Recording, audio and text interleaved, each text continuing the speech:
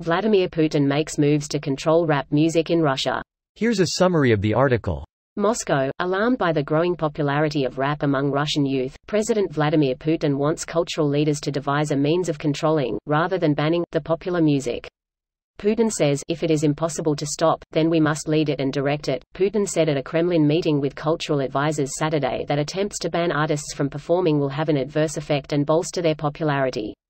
Putin noted that rap is based on three pillars, sex, drugs and protest, but he is particularly concerned with drug themes prevalent in rap, saying, this is a path to the degradation of the nation. He said, drug propaganda is worse than cursing.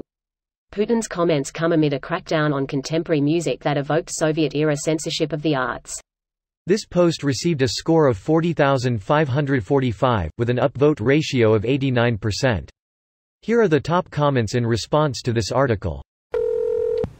Well, that's one way of owning the rap game. It's been settled, Putin crowned himself czar of rap. World czar hip-hop. Okay this is brilliant. EIC. So the KGB won't let me be or let me be me so let me see. I knew this would be posted, just had to scroll down a lot. Or end up in jail or shot. In case you're wondering why this is happening, someone realized that Russian rappers are getting ridiculous amounts of views on YouTube. Since only the state can be the official source of information, and some rap battles get politically edgy, the government decided to step up and start shutting it all down because drugs, sex, swearing. It's the Russian modus operandi control the message. It doesn't matter if the message is obviously controlled as long as people don't get to hear anything else.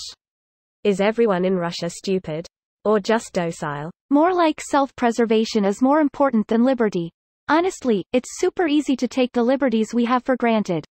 We already do. They have been eroding for a long time. You got the proper state-approved license and credentials to make that claim there? Ha ha ha. Shit, I've been made. I'm ringing the constables. Greater than I'm ringing the constabulary. And hash X200B. That's not very cash money of you, Vlad. Vlad is mad. He should know, can't kill an MC's flow. In Vladimir Russia is much easier to just kill MC. That's right but their words will be forever. Their words will be forever, never surrender. And the chorus goes. It keeps going, and it don't stop. It's a rolly not a stopwatch, shit don't ever stop. To Gulag with you. Mum spaghetti.